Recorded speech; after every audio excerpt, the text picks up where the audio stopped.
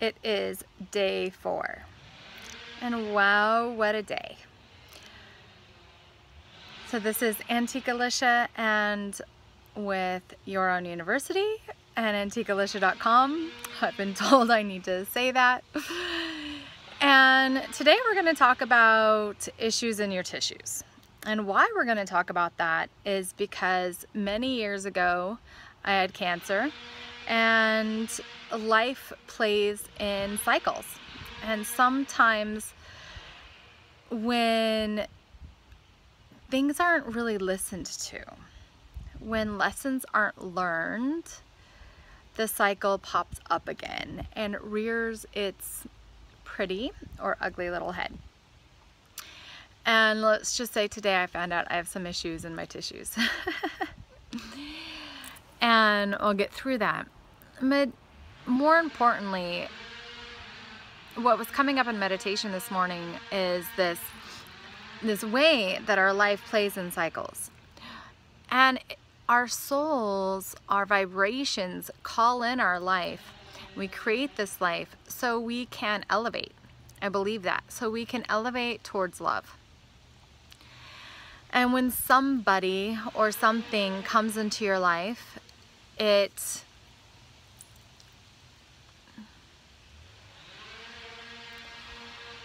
it's there to serve you. And it doesn't always feel pretty. Sometimes it's downright painful.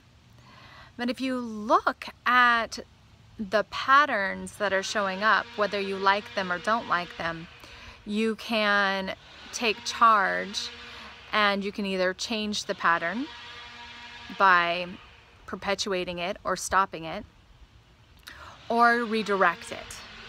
And this is in any relationship, this is in any form, whether you're talking about money and resources or getting things done or or love and friendship. For me, the past couple weeks has been really deep because I was asking for complete healing around receiving and connecting. And I've spent years actually coming up to the place that I'm entering in now.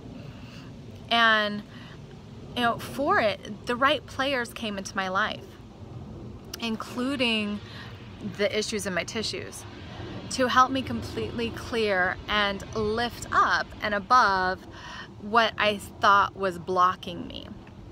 So, um, for instance, a, a person came into my life that I could really look at as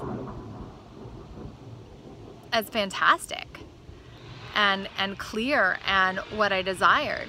Much like I looked and look at my biological father.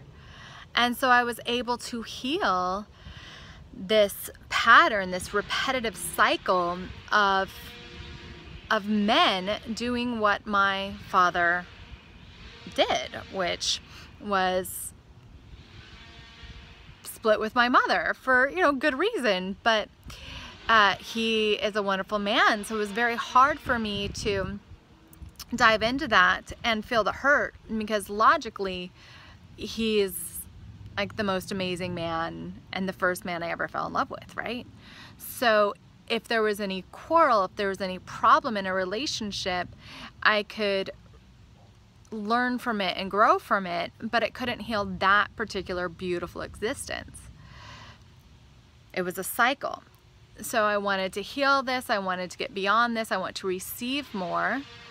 I want to become available. I am available. And because of that availability, I, and that desire for my own cycle to end, I attracted an experience. I lived through that experience. I processed that experience and it healed an experience from, you know, really my entire life since I was an infant of an old limiting belief that I just created, right? And the same goes for the issues in my cells right now, in my physical body. They're here to help me listen and learn. So if you have an ache or a pain in your body, one of the great ways to deal with it is to journal and literally talk to what's happening in you. So you'll talk to the cells in your body and say, hey, what do you want? What's going on? And that's exactly what I'm going to do for, for my body. And then you take action from your heart and you can make clear decision. The other thing is if it's a cycle of a thing or a person or a certain type of relationship, really look at yourself in that and journal it. Where where did this happen when you were smaller? Where could you be finding growth and a growth opportunity so you can actually receive more abundance, receive more wealth and receive more love in your life. So the next time the pattern can leave. So next time your body doesn't have to scream at you with with pain, it can let go because you've heard it. And this is how we change these cycles in our life is by listening to them, not ignoring them, not covering them up with positive affirmation and feel goody shit, but really looking at them for what they are and saying, oh, what was I asking for? How can this serve me? And then moving on and going beyond that and then new opportunity is going to come into your life, new existences, a new reality, a new level of being, and miracles begin to happen. So with that, much love. Talk to you soon. Till tomorrow. Bye.